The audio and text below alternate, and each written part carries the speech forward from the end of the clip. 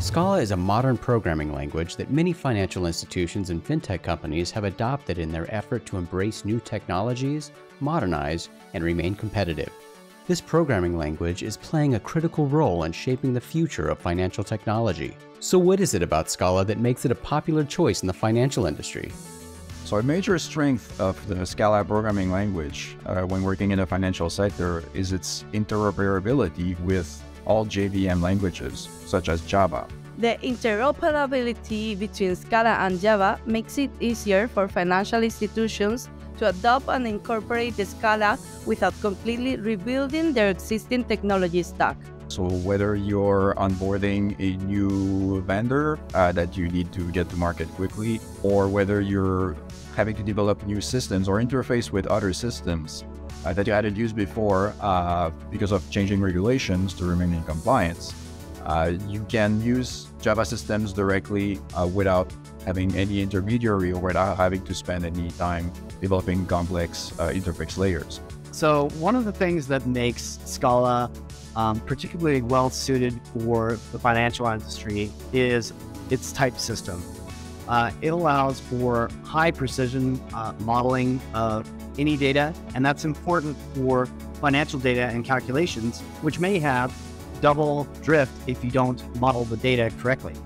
It's really nice because it, it interoperates with Java's big decimal, and uh, that allows you to um, truncate, round, uh, use Banker's rounding, um, all kinds of things that you need to do to, say, calculate the amount of interest uh, accrued on a loan.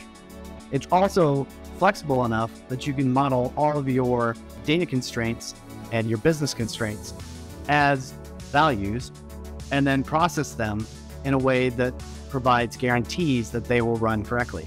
We primarily use uh, Scala's impressive set of property based testing frameworks like Hedgehog, Scala Test, uh, ZIO Test, and this allows us to define the constraints of a problem and have the test generate the test cases for that problem so that we can automatically cover all of our use cases as quickly as possible and deliver a solution that our financial stakeholders can be confident in and our developers can be confident enough in to deliver things with high velocity.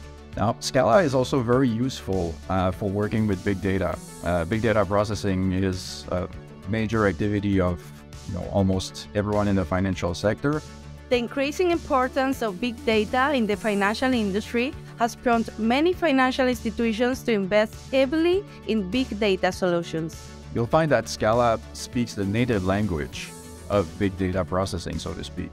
Uh, in other words, the major big data operations like transformation, mapping, folding, reducing, uh, those all translate directly to native Java first order functions and collection transformation function. Scala is a functional programming language, which means it supports functional programming paradigms such as immutability and composability. With the guarantees of immutability that a functional programming language such as Scala provides, you'll be able to perform all these operations in a safe way at a massive scale, uh, which is very important. And that's one reason why Spark, the industry standard in big data, uh, is written in Scala itself.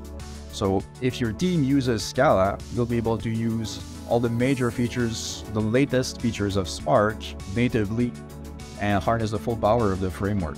Robust and reliable systems are essential for financial institutions, and functional programming concepts like these make it easier for engineers to write better, maintainable code to meet these very needs.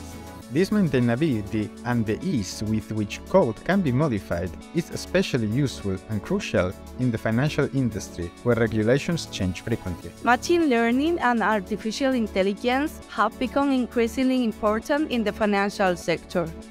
The libraries and frameworks for working with machine learning and AI provided by Scala make it an ideal choice for financial institutions needing to build machine learning and AI systems. Those are only some of the reasons why Scala is a perfect fit for the financial sector. Uh, whether you're working with a big bank, a large financial institution uh, that uses legacy systems, or whether you're using the latest up-to-date technology in like a fintech startup, for example. You'll find that Scala offers benefits to your team in both of these situations and everything in between.